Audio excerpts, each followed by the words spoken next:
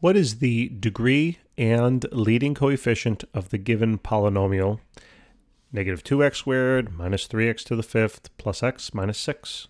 All right, so first in order to determine the degree, you have to look for the highest, the highest power of the variable in your equation. All right, and the variable in this equation is going to be x. So here I have three x's, and which one of them has the highest power? Simply this one, right? That's pretty easy. So what you want to do now is uh, you can, I would highlight this thing and include the sign, whatever the sign is in the front, okay? Include that sign along with it. So your, or the degree of this polynomial is going to be a fifth degree, okay? Fifth, fifth degree or degree 5, whatever you want to phrase it. Okay?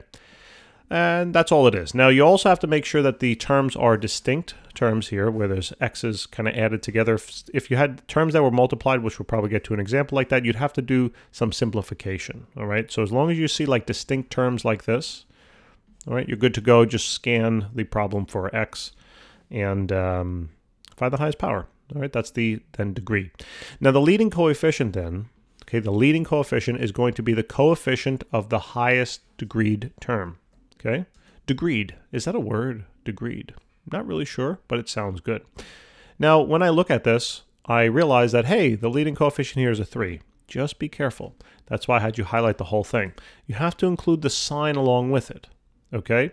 So technically, the leading coefficient here is going to be a negative 3.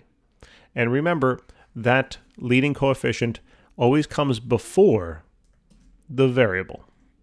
Guys, thanks so much for tuning in. That's all it is. Fairly straightforward. And um, yeah, I look forward to helping you with more problems. Have a great day.